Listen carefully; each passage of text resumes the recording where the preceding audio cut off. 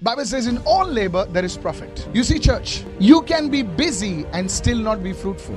Being busy is not a sign of fruitfulness. Prioritizing what God has called you to do is a sign of fruitfulness. You know the devil will make you busy and will isolate you away from the things that very things that God has called you to do. For example, you are a musician and you do everything except music. So you are busy but you are not fruitful. God has called you to be a sports person. You you are a footballer, a powerful footballer. Hey, you are doing everything except football. You are busy, but you're not fruitful.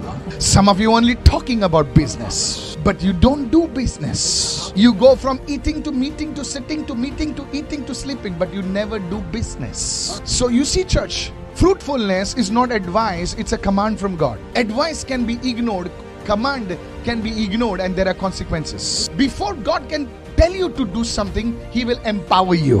Hallelujah.